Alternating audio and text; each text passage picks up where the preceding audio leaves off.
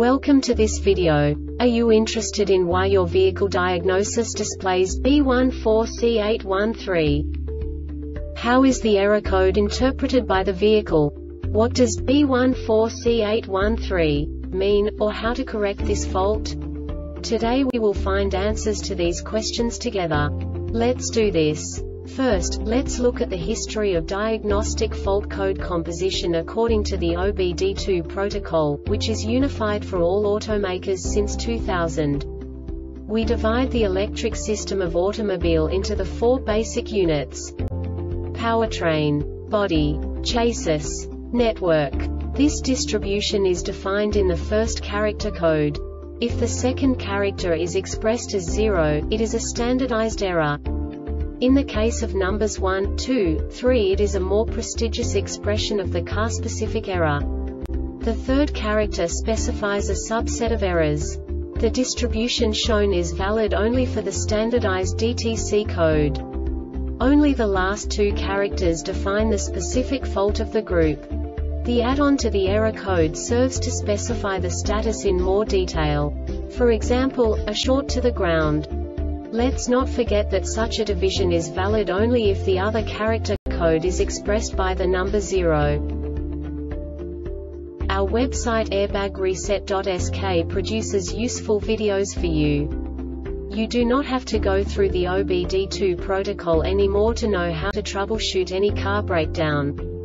You will find all the diagnostic codes that can be diagnosed in a Chrysler vehicles. Also many other useful things.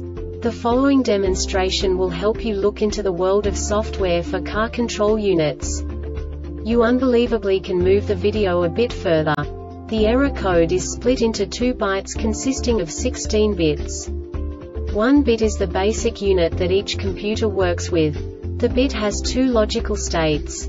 0, low level, 1, high level. By combining the first two bits, the basic character of the error code is expressed. The next two bits again determine the second character. The last beat styles of the first byte define the third character of the code.